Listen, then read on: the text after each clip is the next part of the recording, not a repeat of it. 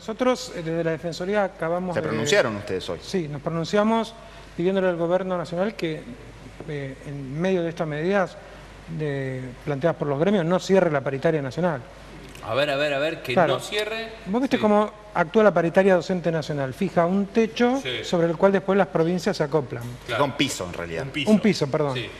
Lo que pasa es que, claro, deja atada prácticamente esa situación a que los gobiernos provinciales después dicen nosotros no nos corremos de ese piso. Me parece que esta no tiene que ser la situación.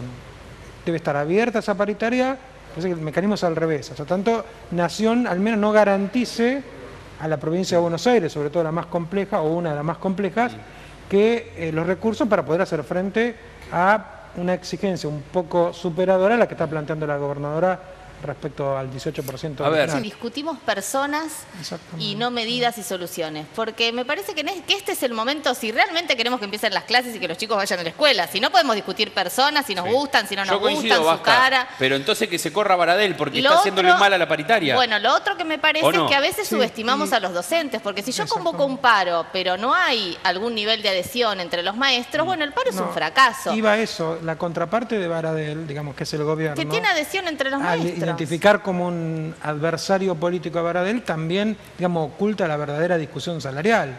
Porque acá lo que tengamos en cuenta es que así como Baradel tiene mala imagen, tampoco sobre esa mala imagen se puede montar un escenario de paritaria de 18% en cuotas de 4% trimestrales que ni siquiera, digamos, alcanzan para recuperar lo que los docentes perdieron el año pasado.